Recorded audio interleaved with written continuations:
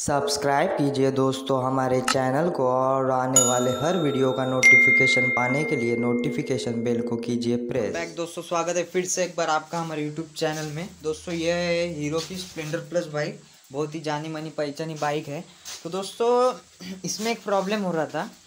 जब भी दोस्तों ये बाइक में जो है, वो पानी लग जाता था या फिर बारिश में एक दो दिन बाहर रह जाती थी तो दोस्तों ये गाड़ी जो है वो स्टार्ट नहीं लेती थी। और उसके बाद दोस्तों बीच बीच में कहीं भी गाड़ी बंद हो रहा जा रही थी। तो इसका दोस्तों रीज़न मैं आपको अभी सामने आपके बताऊँगा। ये तो दोस्तों, आपको चारकोल कैनिस्टर दिख रहा है। ये दोस्तों चोकअप हो रहा था जाम हो रहा था।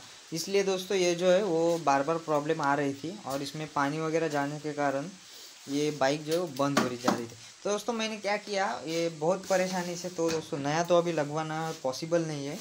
तो दोस्तों मैंने क्या किया, सीधे सीधे उसकी लाइन जो है वो हटा दी। और यहाँ से देख सकते हैं टंकी में से जो लाइन्स आती है, वो दोस्तों लाइन को यहाँ से मैंने बंद कर दिया और यहाँ से भी बंद। और इसके बाद दोस्तों कार्बोरेटर में जो ये, जो लाइन जाती है, ये दोस्तों मैंने खींच दिया है एयर फ़िल्टर की तरफ़। दोस्तों इतना सब कुछ करने के बाद मेरा काम जो है वो कंप्लीट हो चुका है। अभी दोस्तों हम क्या करते हैं, टंकी लगाते पेट्रोल छोड़ते और देखते बाइक स्टार्ट होती है नहीं। लगा। देख सकते हैं, अभी जो है मैंने इसकी टंकी लगा दी है और इसका रीज़र वो दोस्तों नीचे होता है तो लाइन मैंने चालू कर दिया अभी दोस्तों हम किक मार के इसे स्टार्ट करते हैं। तो दोस्तों देख सकते हैं फ़र्स्ट किक में ये गाड़ी स्टार्ट हो गई और